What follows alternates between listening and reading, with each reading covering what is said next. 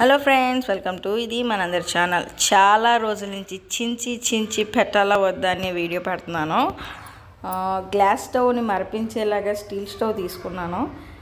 ఎందుకంటే మన దగ్గర ఉన్నవి గ్లాస్ పోయి కాయలేదని స్టీల్ స్టీల్ తీసుకున్నాను అనమాట గ్లాస్ అంటే ఇంకా చాలా మెయింటెనెన్స్ ఉన్నదని తెలిసి మెయింటెనెన్స్ అంటే ఏం లేదు. ఎప్పటికైనా బరస్ట్ అవుతుందంట. మన ఇంట్లోదే అయ్యింది.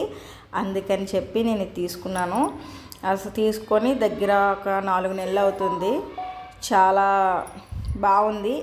యూస్కి కాకపోతే కొంచెం మైనస్ ఏంటంటే చాలా పెద్దది.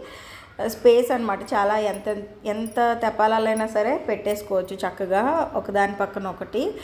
గ్లాస్ స్టవ్ని ప్రిపేర్ చేసిన ప్రిఫర్ చేయాలనుకున్న వాళ్ళు ఎవరైనా సరే ఒక్కసారి దీన్ని చూడండి. అంటే ఇదే ఇదనే కాదు దీంట్లో త్రీ బర్నర్స్ ఉంది. కాకపోతే మా మా సైడ్ యూస్ చేయకూడదని చెప్పి ఫోర్ బర్నర్స్ తీసుకున్నాను అనమాట నాకైతే ఈజీ ఈజీగా క్లీన్ చేసుకోవచ్చు. చాలా నీట్గా ఉంటుంది.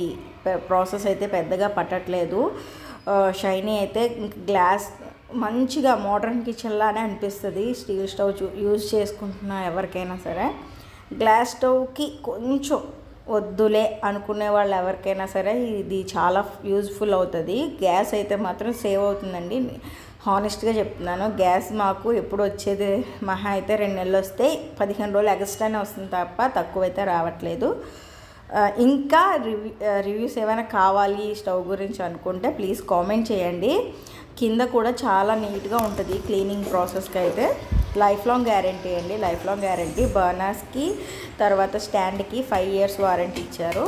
స్టవ్కి మాత్రం లైఫ్ లాంగ్ గ్యారంటీ విధియంది ఓన్లీ ఫోర్ బర్నర్కి అయితేనే లైఫ్ లాంగ్ మిగతాది ఏదైనా సరే ఫైవ్ ఇయర్స్. ఓకేనా? నచ్చినట్టయితే ఫాలో చేయండి. సబ్స్క్రైబ్ చేసుకోండి.